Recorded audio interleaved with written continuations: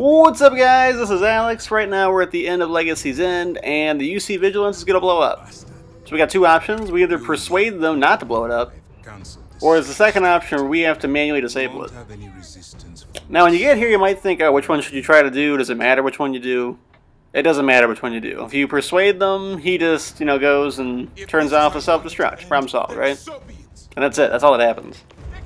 Uh, second option, if you don't persuade him, you just gotta kill everybody in this room, and then you have to go and stop the self-destruct yourself.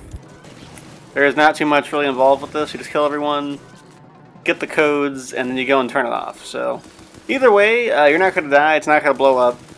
It just isn't gonna happen because the ship's kind of important for the next part of the story or the another quest. So, yeah, you can like they're gonna retrofit it or do something with it. It's gonna be around for a while. Yep, so you just go over here and you just turn it off. You know, look at this, we go in here. Mm-hmm, yep, there's our code. And you see with his code, we put that in there, now we can just abort the self-destruct. So that's all that happens. Either way, you can let them do it or you do it, it's the same outcome.